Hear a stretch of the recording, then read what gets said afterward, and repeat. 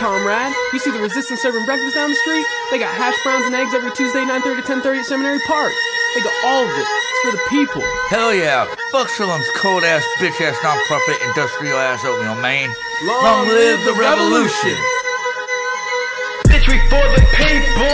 On the streets, cleansing evil.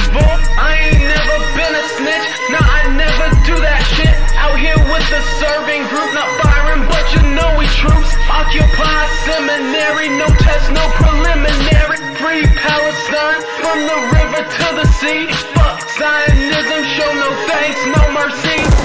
Propagating at the table, hustle and grind, just drop the ladle. All the party, not the pigs. We comrades, we don't miss.